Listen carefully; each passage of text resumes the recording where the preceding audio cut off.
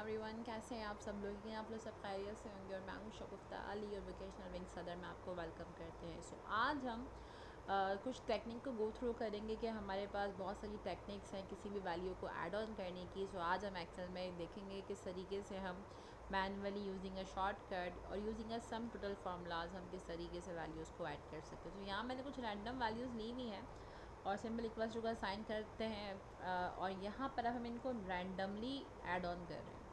Like like, manually हम किस तरीके से वैल्यूज़ को प्लस कर सकते हैं? This is the manually method जिसमें मैं सिंपल वैल्यू के सेल एड्रेसेस के दरमियान एक प्लस का साइन ऐड कर रही हूँ जिससे मैं इंडिकेट कर रही हूँ कि मैं इन वैल्यूज़ को प्लस करना चाहती हूँ।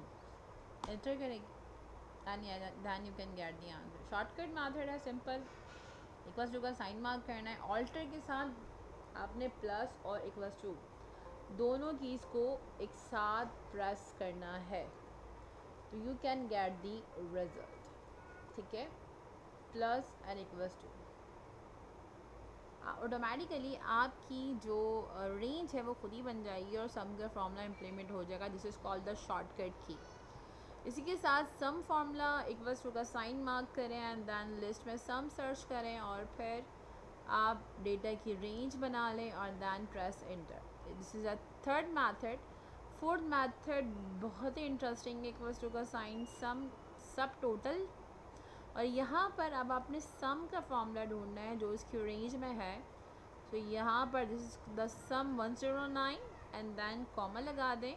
और अगेन सब टोटल वैल्यूज़ की रेंज बनाएँ एंड देन एंटर कर दें you can get the answer तो they are called the sum techniques किस तरीके से आप डिफरेंट डिफरेंट मैथड से वैल्यूज़ को ऐड ऑन कर सकते हैं। So I hope lecture clear हो गया होगा। वीडियो को लाइक करना चैनल को सब्सक्राइब करना और बेल आइकन को प्रेस करना। मत भूलिएगा, अपना बहुत सारा ख्याल रखिएगा। अल्लाह हाफ़